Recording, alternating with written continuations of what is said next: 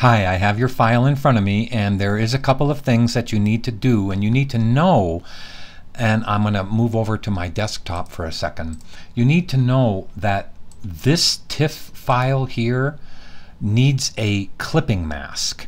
Okay, it needs a channel so that um, when it comes into InDesign, InDesign knows what to do with it okay, meaning to drop out the background. So I'm going to open that back up in Photoshop and I'm going to show you right away how to make that channel. Okay, so you can see here how um, I have your, um, I don't want that to dock with anything.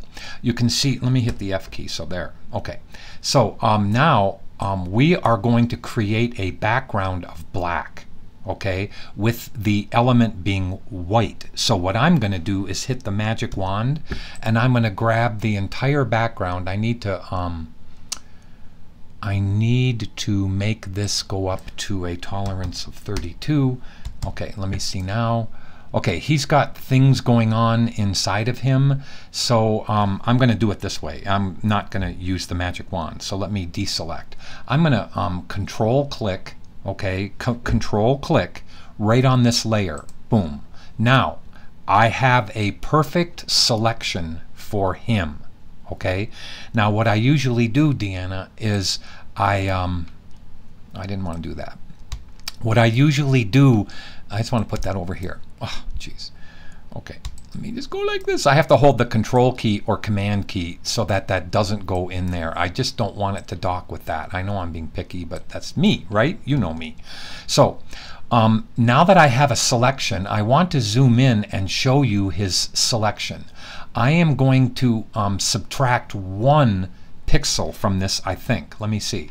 Yeah, let, let me see if one pixel is going to be too much.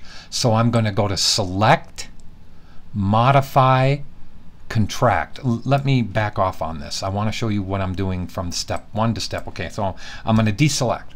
So how to make a, a channel mask. Control click or command click on the layer. Okay, I'm going to zoom in. Let's go to select, modify, contract and see if one pixel is going to be too much. Okay, so I'm going to go one pixel. And no, that was absolutely perfect. Now the reason why I did that is because I don't want any little white edge to show up and I'll show you what I'm talking about when I get it into InDesign. Okay, so I went to select, modify, contract. Okay, now I'm going to go to select, modify, feather, and I'm going to feather it by one pixel. Okay, now I'm ready to make this awesome alpha channel. Now, how do I do it? I just go to select, and save selection. I don't even have to name it. Don't even name it. Because look at now how it's going to be named Alpha 1. Now the TIFF will work in InDesign. It needed this alpha channel right here. Okay, so I'm going to save the file. Now, remember how I did that? I control clicked on the layer. I went to select, modify, contract by one pixel, then I feathered it by one pixel, okay, two separate things. Then I went to select and save selection, and I didn't name it, and now it's alpha channel. Now let me control um, S or Command S to save, and let me close the file. Now let's bring up your InDesign file. Now I don't have all your linked files that you used, so some things aren't going to show up well, but it doesn't matter because you can go do your fix. Now the very first thing you did when you brought this guy in was you made a box somewhere, a big one, and you didn't need to do that. You could have just gone to File Place. You see, where's File Place? And you could have just placed the TIFF in, but this is what you did. Okay, whoops, I didn't mean to do that. Let me cancel that. Okay, so this is what you did. I'm going to select the selection tool in InDesign and look over here in layer 5. I'm going to click this button right over here to grab it and see how the, the, the, the real file is really just him, but you actually brought it in with a big box. Now why is it green? Because you filled it with green or there was a green in the fill. So I should bring it in by itself, but I don't need to because watch. I'm going to just take the fill to none. Okay, now just to show you that this is working, I, and I'm going to delete this in a minute. I'm going I am going to make a box around him and I'm going to fill it with whatever color, like a blue or something, just so you see. So I'm going to take that, I'm going to fill it with this blue, and I'm going to show you. Now I'm going to move it below him, okay? Now, let's go get the real image, which now has an alpha channel in it, okay? So all I basically need to do is go to my links palette.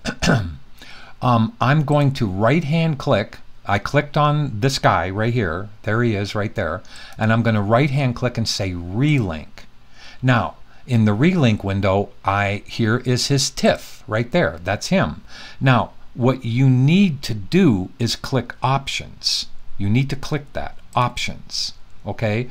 And now I, uh, okay. Um, and show option. Uh, okay. So the next window, um, all right, you needed to click show import options. Okay, that's what I needed you to see. Then click, because you didn't have that checked on your screen when I first did this. So now I'm going to say open. Now here, it recognizes the alpha channel. And that's important. A TIFF needs an alpha channel. It needs to have a mask, which is called an alpha channel. Okay, so when I click OK, it's now should be fixed. It should have been fixed. So um, let me see what I did wrong. Now, it could be that we didn't need to have the big box around him. So I'm just going to re-import him and see if that works. Okay, so obviously we're just we're just experimenting here. So I'm going to select it and delete him out. Okay, now let's go to File Place. This is kind of what I thought would happen. And let's go get him again, but with nothing. Let me make sure nothing is selected. So look, I'm going to click nothing. Nothing is selected over here. Okay, good. File place, which is Command or Control D. Here he is, and um, his alpha channel should work. I'm just going to see if it does. And alpha, oh, maybe that's why it didn't work before. Um, I'm sorry. I should have made it say alpha 1. Okay, that's that's why it didn't work. Okay, I'm going to cancel it and control Z back until I get him back. Okay. Um, so I didn't have to delete him. I just had to make sure that in the options when I relink, I named the alpha channel. Do you understand? Okay, so I'm going to do it again. I'm going to go over here to relink.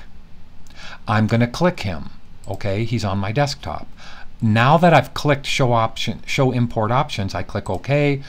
I should have gone alpha 1. Now it recognizes this. Did, did, did, you see the change right there? Look, there's a white background and there's a nothing background. See it? Now we have it correct. And let me zoom in and you can see how his edge is nice and soft because I added a feather to it okay? Now obviously I didn't need to do let me move the links palette. I didn't need to do this background but you wouldn't have seen the change if you hadn't have seen that. So there is your solution. Let me know if that helped